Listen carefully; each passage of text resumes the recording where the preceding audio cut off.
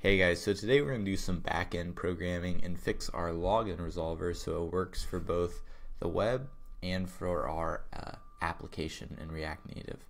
Now before we do that, I wanted to address one thing, and that is whenever you're registering on the phone, if you actually click on the URL, that the if you actually get sent an email and you click on the confirm email link, you might be redirected to, for example, um, this URL, right? Because this is the URL, uh, if you remember, that we use for the Android emulator. Um, if that's the case, it's because uh, you're receiving the request uh, from this URL. So this is our code right here in uh, start server. So this is our backend code. And what we're doing is we're getting the request protocol and the request host, all that stuff to figure out who, uh, where we're supposed to redirect the email. So we're redirecting it to here. Um, this won't be a problem when we actually have people using it um, when we uh, put this server in production. But if you'd like to get it working on the iOS or Android emulator, if you have trouble, you can actually just hard code localhost 4000 here, um, probably HTTP in front, instead of having this right here. Um, or you can have this as environment variable. All of those are good options. I'm going to leave it like so because I'm fine uh, not having it work in the Android emulator. Alright, so let's get started with the login resolver. So here is the schema.graphql for the login resolver right now. And instead of just returning an error now, I want to also return the session ID. So I'm going to create a type called login response and it's going to send back um, possibly errors. So I'm going to just rename this to errors and I'm going to say error so uh, this is pot we get an array of errors back and I'm not putting a uh, exclamation mark there because sometimes we're not going to have errors and here I'm going to send back the session ID which is just going to be a string. And again the session ID not, may not always come back because if there's errors we're not going to be sending the session Alright, so instead of just sending errors back, we're now going to send the login response, and you are for sure going to get a response when you call this mutation, so we can put an exclamation mark there. Alright, so now we need to update our resolver right here. So instead of just returning, for example, error response, I now need to return errors. So errors, and that's our errors, and uh, same thing here, errors and that's good. Errors here.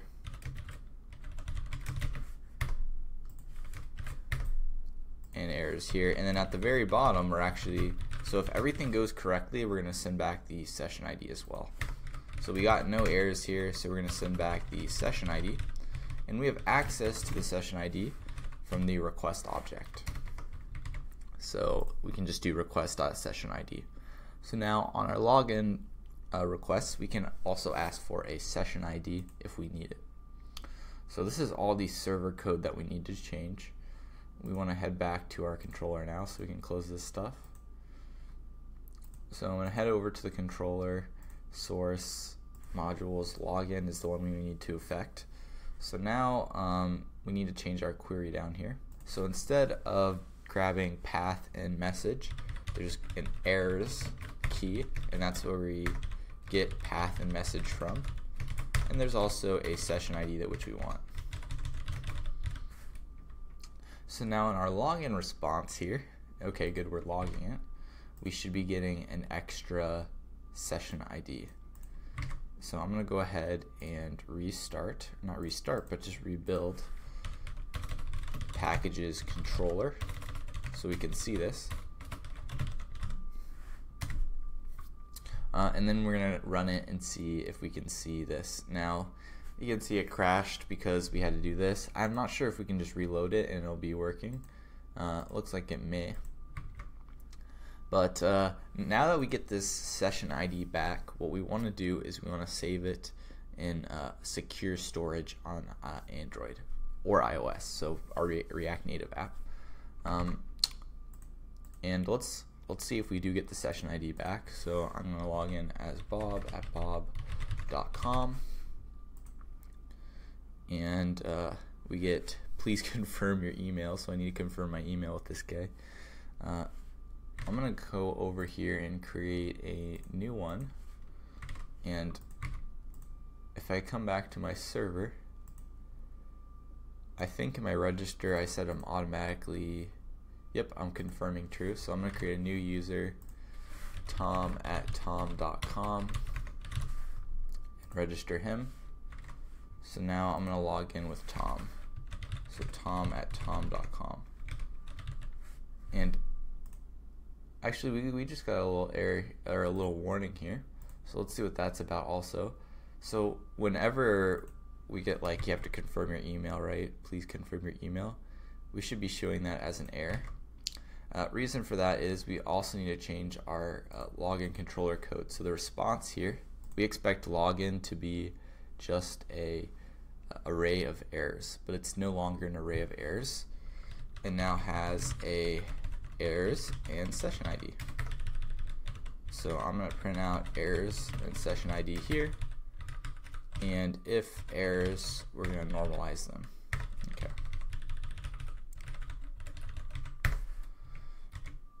And you're going to see TypeScript is not happy with this. And the reason for that is we just have not upgraded our types.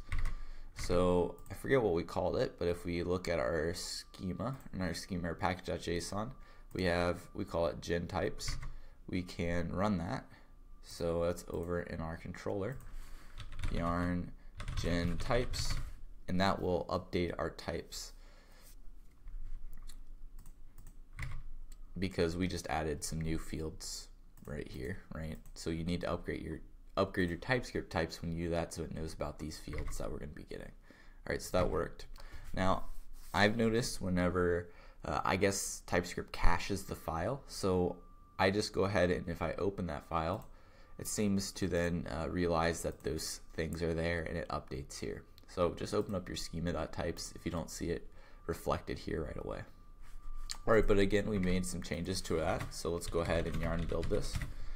Um, and we need to add something to our controller because we don't care about the session ID for our website, but we care about it for our app. So our app wants to save this session ID. So what I want to add is kind of like a callback, if you will. So uh, I guess we'll take it as a prop. Um, so this could be, uh, call it on session ID. And it's going to return a string and this is a optional field. So I could say if there was errors, we're gonna do we're gonna return. Otherwise, there are no errors here. Um, so I'm gonna say this dot props dot on session ID. So if that exists, I'm gonna say this dot props dot on session ID and pass in my session ID. And Oh, I expected one argument. I need to put session ID here. Um, so it's going to be a string, and is going to be anything. There we go. Did I mess it up? Oh, this this is sometimes not a. Uh, oh, it's possibly null. That's true. So right here, I'm to also check. So if session ID. So there's no sense, oops, that should be an and. So session ID can sometimes be null and there's no point in saving the session ID in secure storage if it's null. So what we're going to do is we're going to check if that we actually got a session ID back and we can reload this. Um, and if we do, this is basically going to be a callback. So this function we're only going to pass in to our app. So our app is going to use this function to get the session ID, but our website isn't because it doesn't need to. Uh, but let's go ahead and make sure if I do bob at bob.com that the error message shows up now. Uh, cool, so we don't get that warning at the bottom anymore, and that's just because we need to fix up the stuff here. And now let me log in with Tom, who should be verified. Looks good. So he should get a session ID back.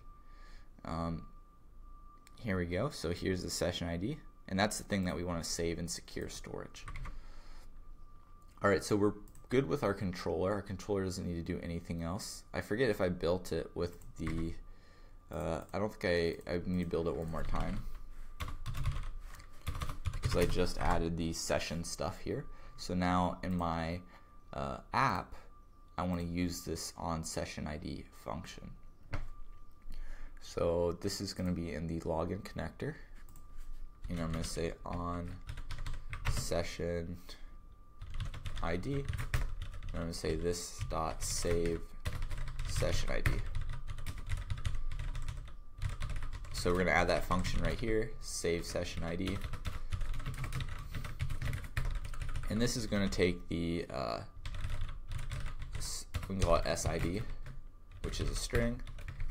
So it's going to take the session ID, which is going to be passed as a parameter, and now we're going to call secure storage.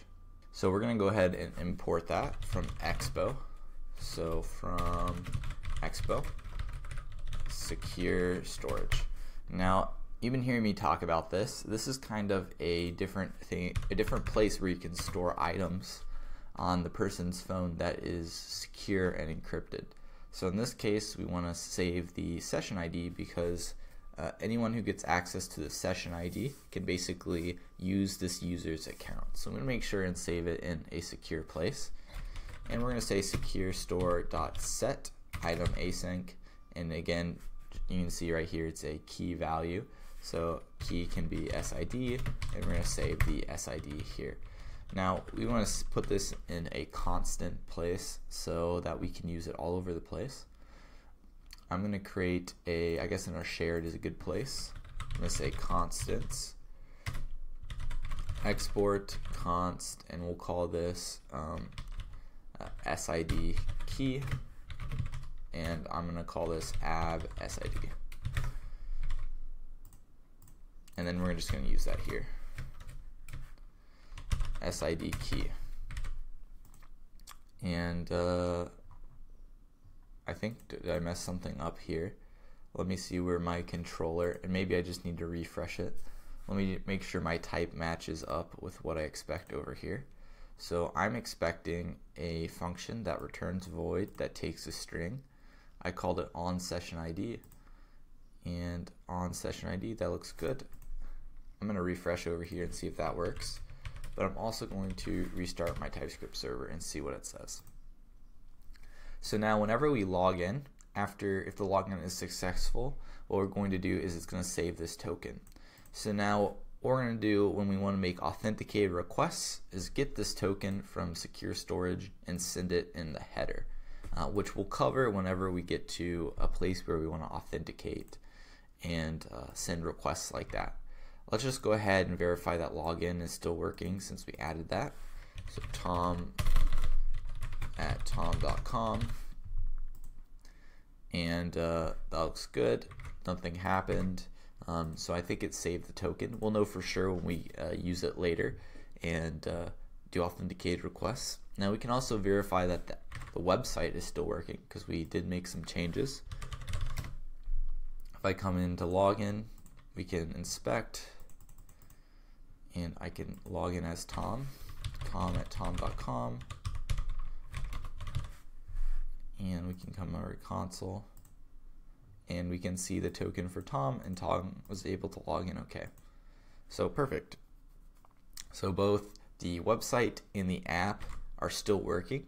Notice we only made changes to the login controller, but we didn't really change the signature of how the login controller works except for adding an optional parameter. And since we made it optional, it doesn't break the website itself. Um, so that's it for this video, guys. I'll see you in the next one.